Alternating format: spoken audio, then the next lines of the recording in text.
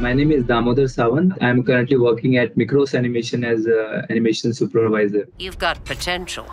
I'm working into animation industry for almost 20 years. A reason for me to land up into animation industry is my sheer passion towards art of animation. Here I worked on uh, many uh, TV series and I was lucky to uh, uh, work on my favorite uh, childhood character, Mickey Mouse Clubhouse. That was made for small kids. It was for the targeted for the younger groups.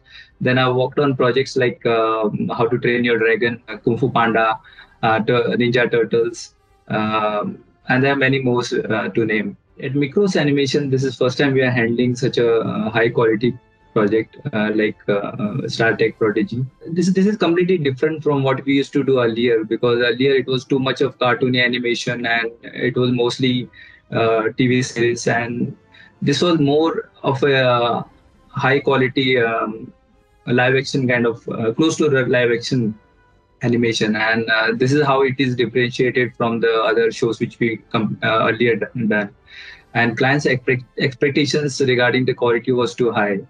And and, and we really actually uh, able to deliver uh, to the client's expectations gravity before uh, getting into this project i never watched any of the star trek movies so when i was told like i'll be uh, supervising this project then I watched few of them, and I was really um, know, excited to work on this kind of project.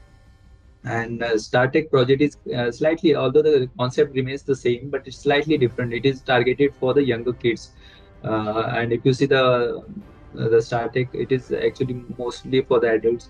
If you ask me, my favorite, I think Dal will be my favorite. Uh, what is that? Because of his characteristics and the nature, like he is very um, straightforward and uh, kind of courageous. Although he is not smart, but he'll act like he is very smart. And that, that's what actually makes me uh, connect to him because uh, I like to be like him, more adventurous and carefree.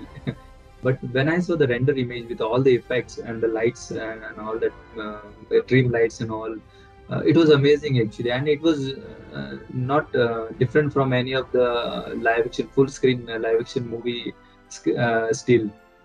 And I, was blown away when i saw it.